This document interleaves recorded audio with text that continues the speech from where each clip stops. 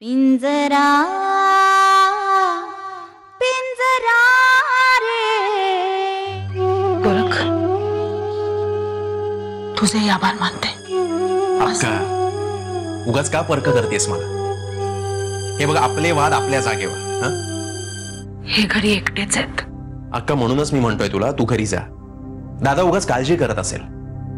आणि तूच दादाला जास्त चांगलं हँडल करू शकतेस. तेव्हा घरी जा. अक्का मला एक विचारायचं आहे म्हणजे हे जे काही घडलं ते दादाला कळलेलं नाहीये ना? नागनाथ तू यांना काही सांगितलं नाहीस ना रे बाबा?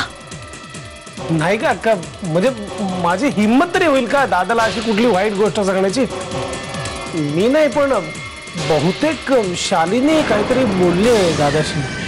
अक्का ब- तुम्ही बोलत बसा तोपर्यंत मी जरा शालिनीला भेटून येतो म्हणजे अ, एकत्रच जाता येईल ना आपल्याला?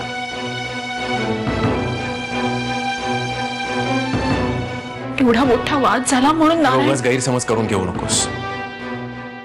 नारायणी वाड्यावर यायच्या आधीच पोटावर पडली होती. मी सांगेन तुला सगळं हं? पण आता ही वेळ नाही तू घरी जा मी तुला सगळं नंतर सांगतो. अरे मला सांगा की काय झालंय? ए नारायणी ठीक आहे पण डॉक्टर तिच्या बाळाला नाही वाचवू शकले. म्हणजे मोठ्यांच्या पापाची शिक्षा त्या बिचाऱ्याला लहानग्याला बघायला लागली.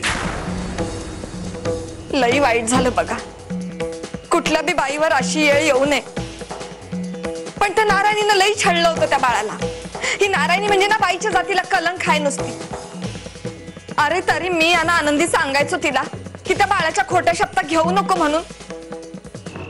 पोरगी तुझ्या लग्नाचा निरोप घेऊन येईपर्यंत अन्न पाणी गोड नाही लागणार. तुला असं नाही वाटत की हे आता जरा अति होत आहे? माझ्या हातात आता तेवढंच आहे. बाकी काय करायचं ते तू करूनच बसलीस. किती वाईट वागले तिच्याशी माझं चुकलं. माझं दादा पण चुकलं मी असं होतं करायला. बाबांनी पुन्हा मारलं. आरती वहिनी त्यांची मला मारलं असतं तर खरंच चाललं असतं. जीव गेला असता आणि सुटले असते एकदाची. सुबी मग मग काय झालंय? तुम्हाला शब्द दिल्याप्रमाणे त्यांनी मला हातही लावला नाहीये हो. पण त्यांनी खाणं पिणं सोडून दिलंय. माझा बाबा खूप हट्टी आहे हो वहिनी. त्याने एकदा ठरवलं ना की बस ठरवलं. कोणाच्या बापालाही ऐकणार नाही बघतो तुम्ही त्या दिवशी सारखं प्लीज़ माझ्या घरी येऊन माझ्या बाबाला समजावाल. मी हा हात जोडते तुमच्या पुढे. तुम्ही घरी याल का प्लीज़ सुबी मी नाही येऊ शकत कारण असं नका करू आनंदी मला खरंच तुमच्या आधाराची खूप गरज आहे आणि माझ्यापेक्षा माझ्या बाबाला जास्त गरज आहे हो. संध्याकाळ संध्याकाळी येते। ठीक आहे वहिनी। ही जर सोयरी झाली ना गजाची जाम फ़ायदा होणार आहे बघा. तालुक्यात सगळ्यात मोठं घर आहे शिंदेचं. आणि हिरच्या लग्नात ज्या इच्छा पूर्ण झाल्या नव्हत्या ना त्या मी गजाच्या लग्नात पूर्ण करणार आहे बघा. गोड्यावर नाही त्याला माझ्या खांद्यावर घेऊन फिरवणार आहे. डोंट वरी एट ऑल मी पोचलो की लगेच कॉल करतो.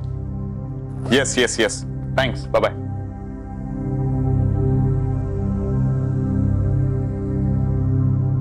कोणाचा फ़ोन होता तू? तू निघालास कुठे? मी नाही आपण निघालो. आपण म्हणजे? आपण म्हणजे आपण तू आणि मी मिस्टर अँड मिसेस देशमुख. तुला नसेल यावं वाटत तर नको येऊस तू. कर तू आराम. मी काय का मला वाटलं होतं मला सोबत होईल आणि आपली एखादी ट्रिप होईल. आनंदी. पण काही झालं तरी मला जावं लागेल. पण मी लवकरात लवकर परत यायचा प्रयत्न करेन.